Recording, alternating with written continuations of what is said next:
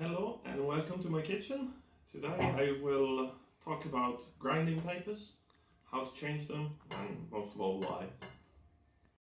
Some tools that you will need for this are clearly your uh, new papers, uh, one fine and one coarse, uh, your special uh, glue, you need to purchase some kind of a special glue, this is the Heiniger model, yeah, anyone's got their own. Um, and then your clamp plate looks something like this. Comes together with this kind of bolt and nut in order to clasp the things together. As you can see there's quite a lot of grime stuck to the plates like here and here and here for example. There are ways to get rid of this um, and I might make a video about it sometime in the future but let's just assume that you want to change your your papers outright. Another thing you can look at here is the presence of these bubbles. If you push on them, it goes, you can see this air bubbles. This is pretty dangerous while sharpening. You don't want it to, to be like that. So whenever there are bubbles, you should change your papers or at least do the whole uh, process again. Um, so uh, first you remove the paper simply by lifting at the edge. Like so. There you go. That's one of them. And the second one should be pretty easy to remove them.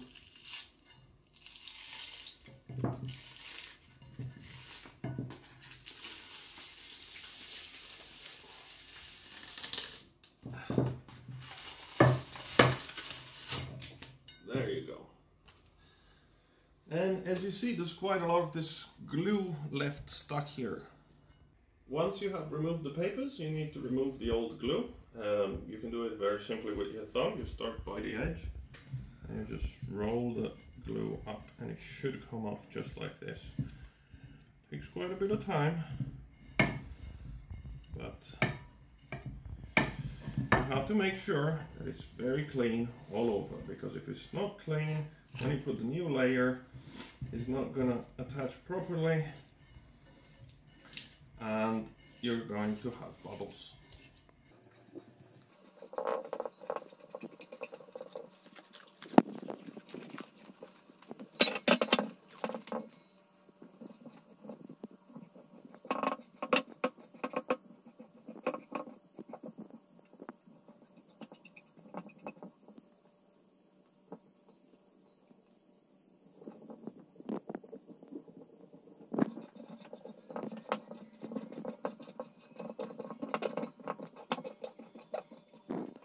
Now I've cleaned uh, my discs of all the glue and uh, I want to make sure that there are no bits of glue stuck anywhere left on the discs.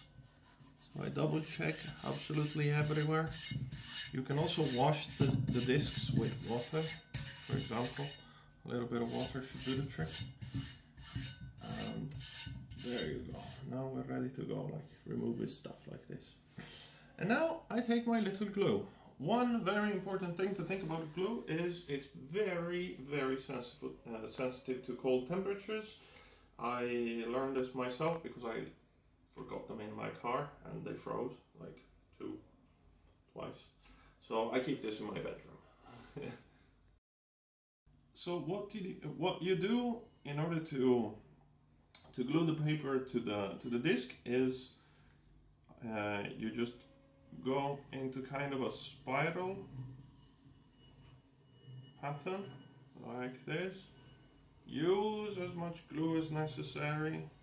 The glue is expensive but it's very important to have it correctly glued.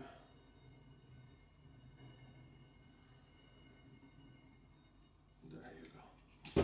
So once I've done this, I take a little bit of paper or cardboard and I just spread the glue out all over the disc.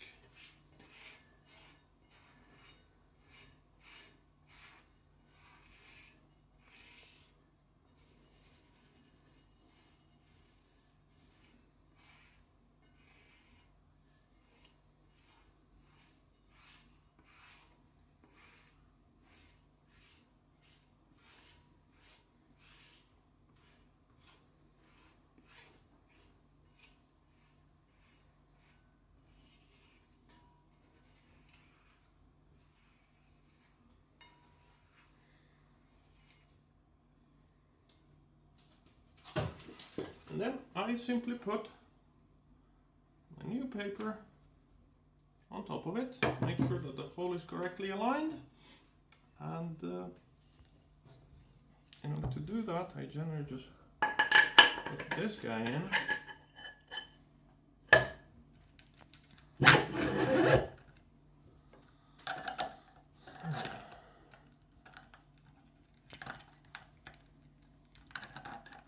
There you go. And then I'm gonna do the other one.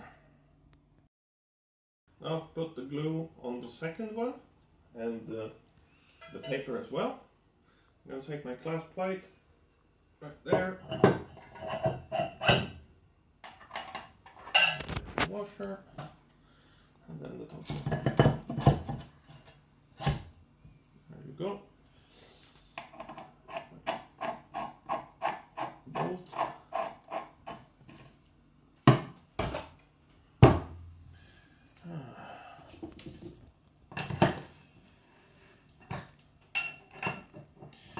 Don't be afraid to use quite a lot of tension because you want the discs to be stuck properly and no air to be present anywhere on the disc. Air and a loose disc at the speed at which the machine spins is very bad combination. I don't need to tell you that. There you go. Now, once this is done, you need to wait 24 hours. But since I am on YouTube, I can do this. Here we are again. Now it's the day after, and I can remove this flap and check out how the discs are doing.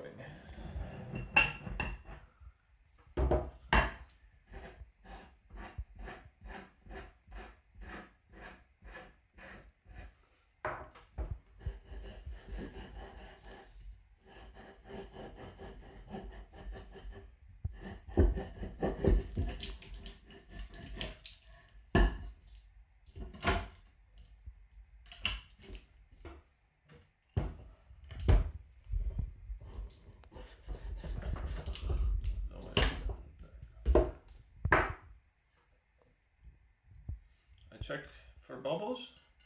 There are no bubbles. Perfect. Ready to go. Here is how you change the papers for your disc. Make sure you do not have any bubbles under. Again, you use the correct glue. Take care that it doesn't freeze.